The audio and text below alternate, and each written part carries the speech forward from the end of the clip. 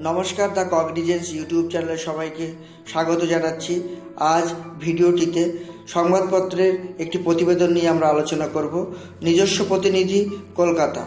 আগামী তেরোই সেপ্টেম্বর রাজ্য সরকারি কর্মীদের সভায় আসছেন মুখ্যমন্ত্রী মমতা বন্দ্যোপাধ্যায়। পুজোর আগে ওই সভায় রাজ্য সরকারি কর্মীদের জন্য কোনো সুখবর যে মুখ্যমন্ত্রী ঘোষণা করতে পারেন, তার ইঙ্গিত শনিবার দিয়েছেন পরিবহন মন্ত্রী শুভেন্দু অধিকারী। কসবায় পরিবহন দপ্তরের অফিস চত্বরে আয়োজিত তৃণমূল কংগ্রেস প্রভাবিত পশ্চিমবঙ্গ রাজ্য সরকারি কর্মচারী ফেডারেশনের বর্ধিত বৈঠকে শুভেন্দুবাবু মুখ্যমন্ত্রীর আসার কথা জানান। মুখ্যমন্ত্রী যে ওই দিন কিছু ঘোষণা করবেন, তাও জানিয়েছেন দলের কর্মী সংগঠন দেখভালের দায়িত্বে থাকা শুভেন্দু। তিনি বলেন, নিশ্চিতভাবেই সরকারের চিন্তাভাবনার বিষয়ে কিছু ঘোষণা করবেন মুখ্যমন্ত্রী। প্রশাসনিক কর্তৃ হিসেবেও তার দায়িত্বের কথা বলবেন। ষষ্ঠ বেতন কমিশনের সুপারিশ অনুযায়ী রাজ্য সরকারি কর্মীদের বেতন বৃদ্ধি কবে হবে, সরকারি কর্মী মহলে সেটাই এখন চর্চার বিষয়। শুভেন্দুবাবু এদিন বলেন, অনেকেই বেতন কমিশন নিয়ে বলছেন, মুখ্যমন্ত্রী বিধানসভার ভিতরে ও বাইরেও এ নিয়ে বলেছেন।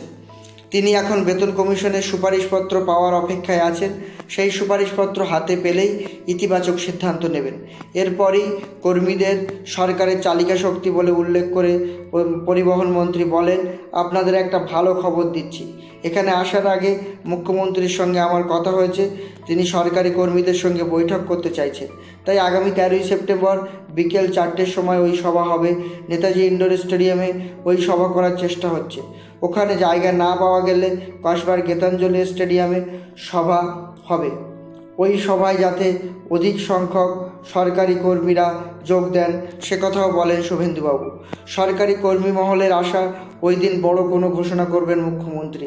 এর আগেও তিনবার ফেডারেশনের সভায় এসে সরকারি কর্মীদের জন্য বর্ধিত হারে ডিএ সহ অন্যান্য সুযোগ সুবিধার কথা ঘোষণা করেছিলেন মুখ্যমন্ত্রী। অর্থনীতিবিদ অভিরূপ সরকারের নেতৃত্বে দু হাজার পনেরো সালে গঠিত হয়েছিল ষষ্ঠ বেতন কমিশন।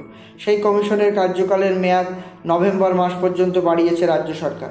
সম্প্রতি স্যাট ডিএ মামলায় জানিয়েছেন, বেতন কমিশনের সুপারিশ কার্যকর করার আগে সরকারি কর্মীদের বকেয়া ডিএ মেটাতে হবে।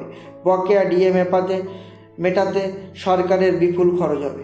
তো আশা করি ভিডিওটির মাধ্যমে সংবাদপত্রে রাজ্য সরকারি কর্মচারীদের মাননীয় মুখ্যমন্ত্রী তেরোই সেপ্টেম্বর যে একটি বিশেষ ঘোষণা করতে চলেছেন সে বিষয়ে সংবাদপত্রে প্রকাশিত খবরগুলির সত্যতা আমরা যাচাই করিনি, কিন্তু সে বিষয়ে একটি ধারণা সবাইকে দেওয়া গেল।